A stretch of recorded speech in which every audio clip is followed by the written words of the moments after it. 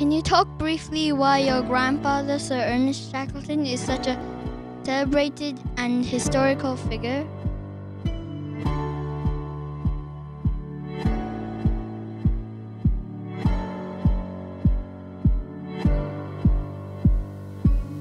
In lots of ways, he was very much ahead of his time. A hundred years ago, leaders did not take so much trouble to know their men.